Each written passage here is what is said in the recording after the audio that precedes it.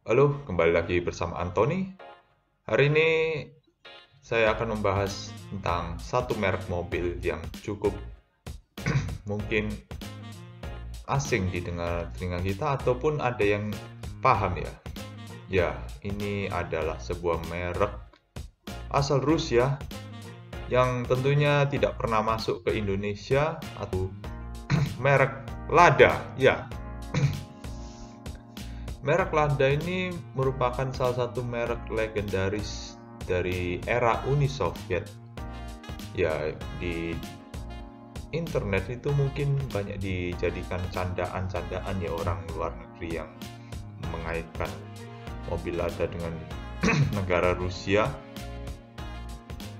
Oke, dari sedikit sejarahnya yaitu uh, perusahaannya bernama Avtovaz yaitu merupakan sebuah singkatan dari Volsky Automobilny Zavod yang didirikan tahun 1966.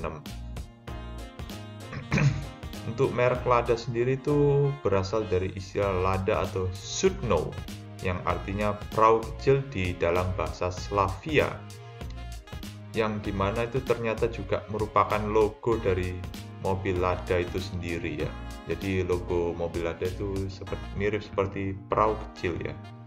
Atau mungkin seperti sampan gitu ya. Untuk awal mulanya kenapa merek Lada ini diciptakan? Karena pada era Soviet di tahun-tahun tersebut pemerintah ingin menciptakan mobil rakyat yang harganya terjangkau makalah diciptakan merek Lada. Tapi pada waktu itu belum dipakai merek Lada ya. uh, merek awalnya itu masih merek Fast ya sesuai dengan nama perusahaannya. Untuk awal-awal mereka bekerja sama dengan Fiat. Ya, mereka bekerja sama dengan Fiat sebagai tonggak awal berdirinya Lada dan juga berguna untuk transfer teknologi pada waktu itu ya.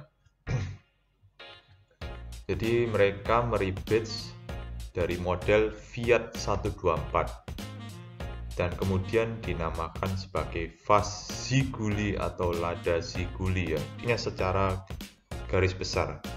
Dan dari Lada Ziguli itu sendiri terdiri dari beberapa varian yaitu tipe 2101, tipe 2103, lalu ada tipe 2106 dan tipe 2102 untuk yang station wagon. Nah, yang lainnya itu merupakan sedan yang ukurannya itu sebenarnya sama saja sih, tidak ada yang beda. Uh, untuk yang tipe 2101 diproduksi dari tahun 1970 sampai 1988 Lalu untuk yang 2103 diproduksi dari tahun 1972 sampai 1984 dan yang 2106 diproduksi dari tahun 1976 sampai 2006. Wow. Masa produksinya sangat panjang untuk yang 2106. Ya, bayangkan itu desain dari tahun 70-an diproduksi sampai tahun 2006 tanpa perubahan model yang berarti. Lalu untuk yang 2102 Wagon diproduksi dari tahun 1971 sampai 1986. Untuk pilihan mesinnya ada 1200 cc, 1300 cc, 1500 cc, dan 1600 cc. ya, itu merupakan produk awal dari merek Lada. Lalu setelah itu diteruskan ke Lada Riva yaitu Riva itu untuk pasar ekspornya tapi untuk di Rusia sendiri terdiri dari tiga tipe yaitu 2105 2107 dan 2104 untuk yang station wagon. Ini merupakan penerus dari Lada Siguli yang sebelumnya dan yang 2105 itu diproduksi dari tahun 1980 sampai 2010. Gila, masa produksinya panjang sekali dan ya mungkin kalau kalian pernah lihat meme di internet ya ketika mobil Lada ini dibandingkan dengan merek Mercy dan BMW lihat tidak tidak berubah dari awal produksi sampai akhir produksi ya lalu untuk yang 2107 diproduksi dari 1982 sampai 2012 wow panjang sekali ya. Wow.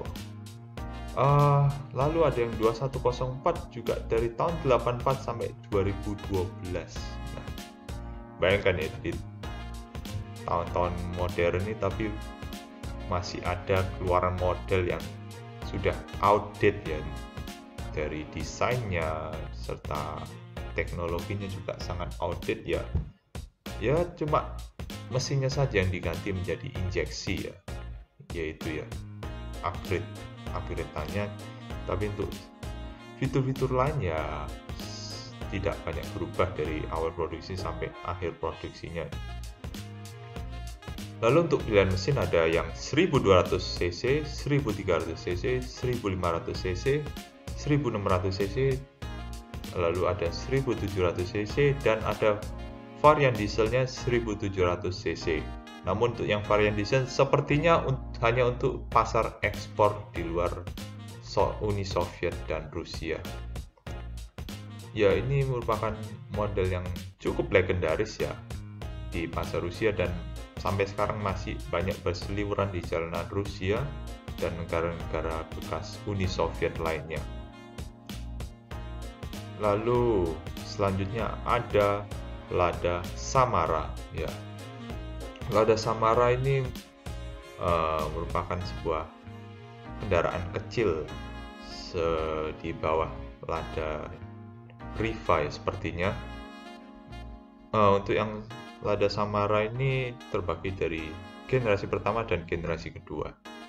Untuk yang generasi pertama itu ada tipe 2108 untuk hatchback 3 pintu yang diproduksi dari tahun 1984 sampai 2003 lalu ada tipe 2109 untuk hatchback 5 pintu. Itu diproduksi dari tahun 1987 sampai 2011 lalu ada tipe 21099 yaitu tipe sedannya diproduksi dari tahun 1990 sampai 2011 masa produksinya sangat lama sekali ya kalau dilihat ya. Wow lama sekali. Untuk pilihan mesinnya ada 1100 cc 1500 cc dan 1300 cc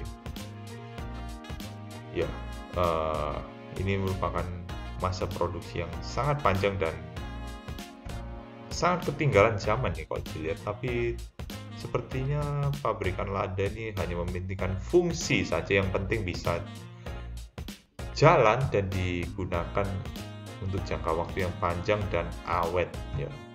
Jadi tidak tahu awet apa mobil ini tapi yang pasti masih banyak berkeliaran di jalanan Rusia sampai hari ini ya. Walaupun populasinya uh, banyak digantikan oleh merek-merek global yang uh, memasarkan mobilnya di Rusia pada saat ini ya. Lalu selanjutnya ada Lada Niva. Nah, ini merupakan salah satu line up yang diproduksi sampai hari ini dan dimulai dari tahun 1977 sampai sekarang modelnya tidak banyak berubah. Hanya sekedar uh, restyling minor atau facelift minor ya kabarnya akan digantikan dengan Lada 4x4 Vision konsep yang konsepnya keluar dari tahun 2018 dan baru akan masuk line up produksi sekitar tahun 2023. Uh, itu merupakan waktu yang lama sekali dari konsep pertama kali dipajang dan pada akhirnya masuk ke lini produksi. Uh, itu terlalu lama ya untuk uh, merencanakan sebuah produksi mobil ya. Dan seharusnya Lada Niva ini sudah saatnya diganti. Yaitu karena sudah terlalu outdated dan fiturnya tidak bertambah banyak ya. Oke ini merupakan model yang abadi ya selain Defender dan G-Class ya.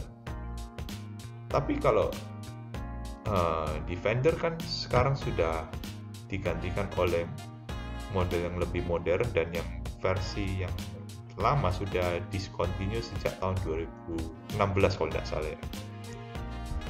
Lalu untuk yang G-Class itu sudah uh, menggunakan basis yang baru tapi model tetap serupa dengan model yang lama tapi secara teknologi dikembangkan habis-habisan. Jadi sekarang seperti mobil luxurious gitu ya dan mobil yang bertenaga besar dan cepat. Sedangkan dibandingkan dengan Lada Niva ya tidak banyak yang berubah dari tampilannya, dari interiornya juga uh, masih terkesan ketinggalan zaman ya. Untuk ukuran mobil saat ini, uh, untuk penamaannya sekarang diganti sebagai Lada 4x4 atau Lada 4x4 dengan mesinnya yang saat ini digunakan yaitu 1700 cc dan 1800 cc. Untuk yang mesin pendahulunya yaitu 1600 cc yang digunakan untuk model produksi tahun 1977 sampai 1993 Lalu ada yang versi diesel yaitu dari tahun 1999 sampai 2007 ya. Saya tidak tahu yang versi diesel ini sepertinya untuk pasar ekspor di luar Rusia ya. Uh, saya tidak tahu lagi. Tapi untuk Lada Niva ini ada yang versi 3 pintu dan 5 pintu. Ya. Oke, okay, uh, untuk jenisnya ini Lada Niva ini merupakan compact SUV ya yang bukan crossover ini beneran real SUV yang ukurannya compact ya. Kalau disandingkan harusnya ini bersanding secara langsung dengan Suzuki Jimny ya karena melihat ukurannya juga sama dan penggeraknya juga 4x4 atau 4 wheel drive. Jadi apple to apple dengan Jimny ya. Walaupun secara model uh, Niva ini pasti kalah telak dengan Jimny yang sudah uh, sangat modern ya dibandingkan Niva ini. Lalu model lainnya, oh ya, uh, hampir kelupaan tadi Lada Samara itu yang saya sebutkan tadi generasi pertama. Sekarang saya sebutkan yang generasi kedua. Yang generasi kedua itu ada tiga tipe yaitu 2113 untuk yang hatchback 3 pintu diproduksi dari tahun 2004 sampai 2013 lalu ada 2114 diproduksi dari tahun 2001 sampai 2013 yaitu hatchback 5 pintu. Dan 2000, uh, 2115 untuk yang sedan diproduksi dari tahun 1970 uh, 1997 sampai 2012 Oke, setelah ada Samara 2 ini secara model itu lebih cocok sebagai mobil tahun 90-an ya. Uh, 90-an awal ya karena desainnya juga masih mengotak dan lampunya pakai Mika Buram. Ya, untuk ukuran mobil tahun 2000-an itu pun juga sudah uh, ketinggalan zaman juga ya karena dari segi desain lebih cenderung pembulat ya untuk mobil tahun 2000-an ke atas dan lampu itu kebanyakan kristal multi reflektor di tahun-tahun segitu. Lalu untuk pilihan mesinnya ada yang 1100 cc, 1300 cc, 1500 cc dan 1600 cc. Sama seperti generasi pertamanya ya kurang lebih. Uh, tidak tahu lagi kalau mungkin ada yang keliru mohon bisa dikoreksi di komentar.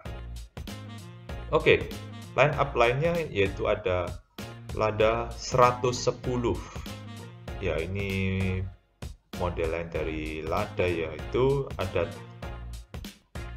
uh, dibagi menjadi empat tipe untuk model Lada 110 ini ya.